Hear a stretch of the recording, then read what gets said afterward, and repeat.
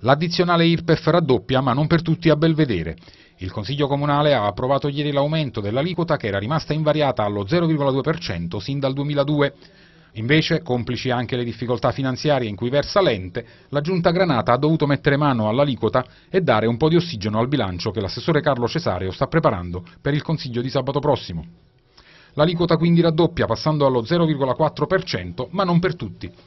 I redditi fino a 7.500 euro annui, infatti, sono esentati, sia nel caso dei pensionati, come proposto dalla maggioranza, sia nel caso dei lavoratori dipendenti, come chiesto in aggiunta dall'opposizione.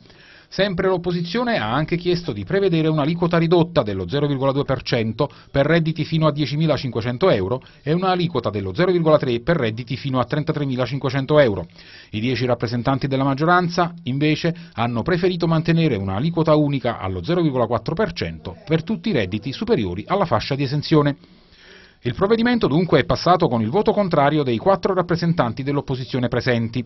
Non è passata invece la proposta dell'opposizione di introdurre una tassa di soggiorno di un euro a notte, da far pagare ai circa 75.000 turisti che arrivano a Belvedere ogni anno. Nella seconda parte della seduta è stato invece approvato l'elenco dei beni comunali da dismettere e quello dei beni da valorizzare. L'opposizione, in particolare Riccardo Ugolino del gruppo Insieme, esprime particolare soddisfazione perché tra questi ultimi è stata inserita anche la via Gioacchino Murat l'antica strada costruita dal cognato di Napoleone quando era re di Napoli ed oggi in parte scomparsa. Diciamo che a vent'anni noi ragazzi fessadottini diciamo, avevamo un sogno, restituire alla fruizione pubblica un bene comune.